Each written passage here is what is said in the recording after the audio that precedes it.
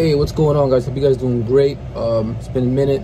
Been busy working. You know, I'm at work right now. Just being on the grind. Um, when I'm talking about my vitamin D deficiency, you know, I've been dealing with it for the past couple two years. Like the symptoms of low vitamin D deficiency is pretty much um, you you you feel fatigued. You're always tired, weak. You're always in pain. Like I felt like I was depressed. My anxiety was up, especially last year. So I did blood work on me, you know, in July.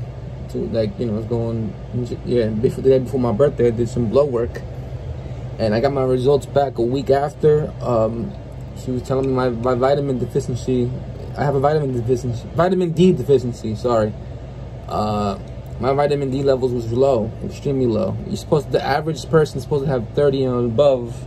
Mine was in the teens. So yeah, think about that. It was really bad. Um, she um prescribed me some supplements to take uh D3 vitamin D3 of um, 50,000 units whatever that means. Um, I guess you know to improve my vitamin D little by little.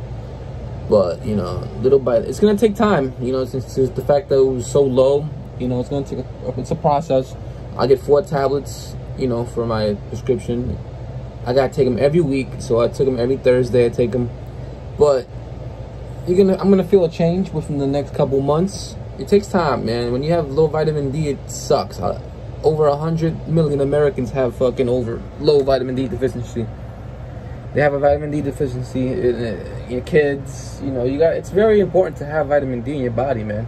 You get it from the sun. If you if you get a chance, go outside. That's the main the main thing you can get vitamin D from. But um, most of the time you can take supplements if you need to once a week. You know, it, especially it helps for the men. You need it. You know, it helps for just testosterone.